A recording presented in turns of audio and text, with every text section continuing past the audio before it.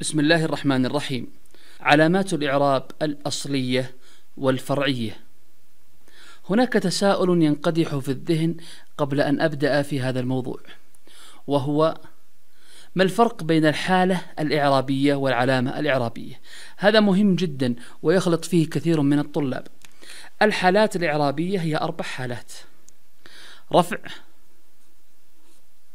ونصب وجر وجزم. هذه تسمى حالات إعرابية حالات إعرابية. تعلمنا فيما مضى أن الرفع أن الرفع والنصب حالات إعرابية مشتركة بين الأسماء والأفعال. أما الجر فهو خاص بالأسماء والجزم خاص بالأفعال. هذه تسمى الحالات الإعرابية. كل حالة من هذه الحالات الإعرابية يعبر عنها بعلامة إعرابية. أصلية وقد يعبر عنها بعلامات أخرى فرعية. فالرفع فالعلامات الإعرابية مثلا الضمة الفتحة الكسرة السكون الألف.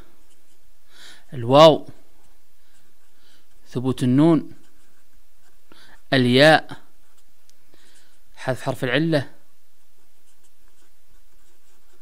إلى آخره. قد تكون منها علامات إعراب أصلية ومنها علامات إعراب فرعية. اذا الحالة الإعرابية هي أربع حالات فقط رفع ونصب وجر وجزم. يعبر عن هذه الحالات بعلامات قد تكون علامات أصلية وأيضا لكل حالة لكل حالة علامة أصلية واحدة. مثلا الضمة هي علامة أصلية للرفع. الفتحة علامة أصلية للنصب.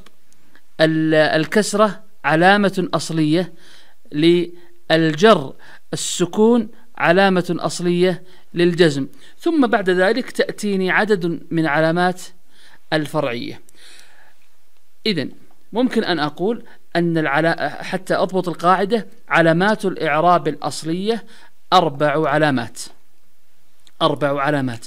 الضمة في حالة الرفع والفتحة في حالة النصب والكسرة في حالة الجر والسكون في حالة الجزم. من المهم جدا من المهم جدا أن أربط هذه الحالات بالعلامات أن أربط العلامات بحالاتها أربط العلامات بحالاتها لأنه قد تأتي في بعض أبواب الإعراب بعلامات فرعية قد تأتيني الكسرة علامة فرعية قد تأتيني الفتحة علامة فرعية. إذا لابد أن أربطها مع بعض. علامات الإعراب الأصلية هي الضمة في الرفع والفتحة في النصب والكسرة في الجر والسكون في الجزم. قال الله تعالى ننظر إلى هذه الآية الكريمة لنتطلع إلى علامات الإعراب فيها. قال الله تعالى قد سمع الله قول التي تجادلك في زوجها وتشتكي إلى الله.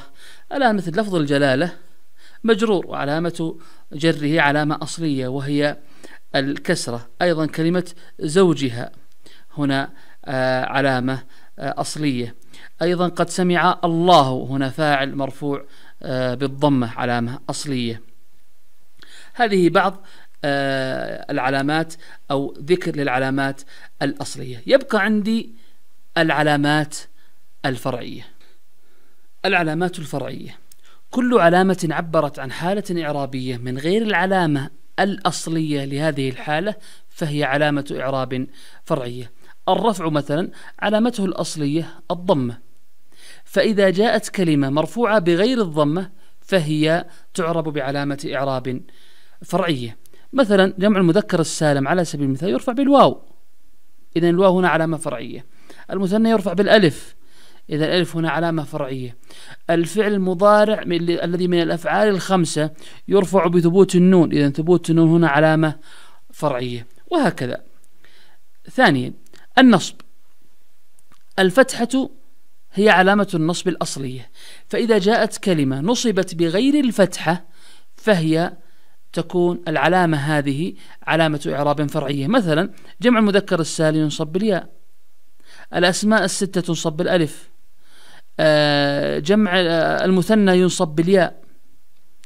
جمع المؤنث السالم ينصب بالكسرة. لاحظ معي الكسرة هنا. لما جاءت لتعبر عن النصب فهي علامة إعراب فرعية وليست علامة إعراب أصلية. هي أصلية في الجر لكنها في النصب تصبح فرعية. الجر آه هناك من الأسماء ما يجر بالياء كالمثنى وجمع مذكر السالم ومنها ما يجر آه بالفتحة مثل الممنوع من الصرف. الممنوع من الصرف يجر بالفتحة نيابة عن الكسرة. لذلك الفتحة في حالة الجر هنا هي علامة إعراب فرعية. الجزم آه، من مثلا آه، الأفعال التي من الأفعال الخمسة مثلا تجزم بحذف النون. هذه الأفعال الخمسة. آه، قد تجزم الأفعال المعتلة بإيش؟ تجزم بحذف حرف العلة. ليس هناك سكون نون حذف نون أو حذف حرف العلة. هذه كلها علامات جزم. اذا من هنا نستنتج أبواب الإعراب بالعلامات الفرعية في النحو هي سبعة أبواب. سبعة أبواب. نعددها الآن. الباب الأول نقول الأسماء. الستة أبو وأخو وحمو وذو وفو وغيرها. آه الباب الثاني آه جمع المذكر السالم. الباب الثالث جمع المؤنث السالم. الباب الرابع المثنى أيضا الممنوع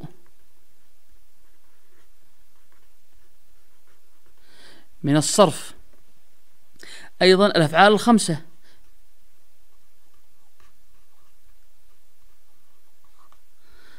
الباب الأخير هو الفعل المعتل الآخر. الفعل المضارع معتل الآخر. هذه الأبواب السبعة هي أبواب الدراسة في المرحلة القادمة. سنتعرف على كل منها وعلى علامته الإعرابية. قد يدخل الباب في أبواب الإعراب بالعلامات الفرعية من خلال العلامات كلها فيرفع بعلامة فرعية وينصب بعلامة فرعية ويجر بعلامة فرعية أو يجزم بعلامة فرعية.